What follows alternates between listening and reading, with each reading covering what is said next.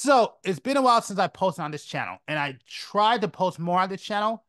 And my bad for not doing that, but it's because I've been busy doing other things and working on other channels that this one kind of gets gets lost in the weeds sometimes. But I'm trying to come back. I do have some videos. I have the Canon video that I've been working on for months now that needs to get done.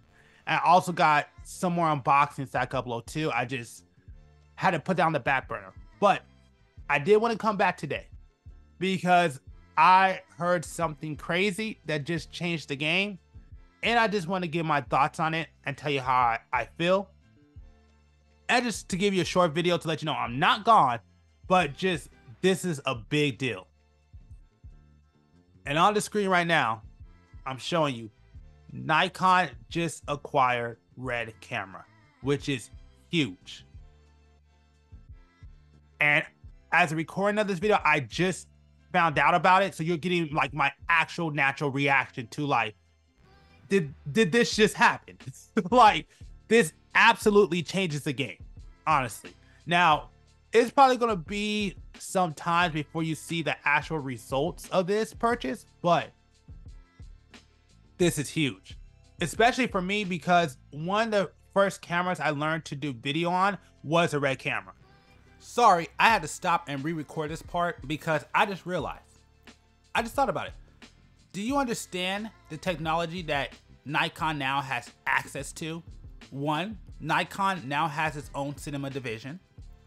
Nikon has access to the red sensor. Nikon now has access to compressed RAW, which Red has a patent of. And I totally forgot about this. I don't know why it slipped my mind. But Red actually has a global sensor. Red had a global sensor. And Nikon now has access to all of that technology. Looking at how things are going, and this is just my prediction, Canon has about two years. I actually want to say four because you're probably going to have that first iteration of issues. But I would say Canon has about four years to get their to come out with a camera that blows everything out the water. Or I believe Canon now is going to be the weakest of the big three. And I say this because when you look at Nikon and basically the technology they just inherited, when you look at Sony and how basically every camera they added in a new feature and make it better. When you look at Canon, they tend, in my personal opinion, they tend to kind of hold their stuff back. And that's kind of the issue I find with Canon. And again, I'm a Canon guy. I'm probably never going to leave Canon. But in my personal opinion, Canon feels like it's about to fall into that trap that they did with the 5D Mark IV. So it kind of has me nervous. But again, we are years away before we see the results of all this. But this is kind of normal. It happens all the time. I mean, there was a period where Sony was the weakest of all the camera companies. And then Canon went through their time too. So it happens all the time. But this is some really big news, and I just wanted to talk about it because I did not think I was going to get done eating breakfast and then see this news. So I just wanted to put this out just to kind of share my thoughts and just to let y'all know again, this is not a dead channel. I just am working on a bunch of other stuff, but I do and I hope sooner than later to get back to this channel. You know what I'll do? Because I do have some more unboxings that I haven't released. So probably next week I'll release another unboxing.